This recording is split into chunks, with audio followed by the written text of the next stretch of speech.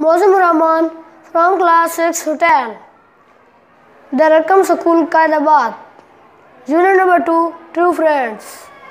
Once there were three friends a turtle, a crow, and a little mouse.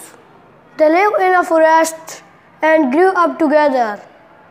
They used to gather every morning near the lake in a cool shady place to spend time together sharing jokes and discussing problems with each other.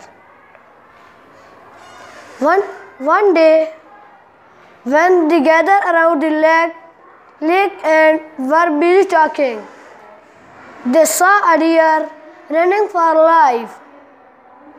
He came near them and fell on ground out of exhaustion. The turtle took some water from the lake and sprinkled onto him. After a few minutes, the deer regained consciousness and told them that he saw a running to save himself from a hunter.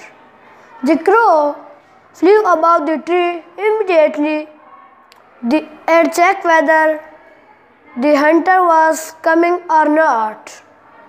He returned and assured the deer that what the hunter had gone away. The deer, the deer thanked them a lot for their help. From that day on, the deer also became good friends.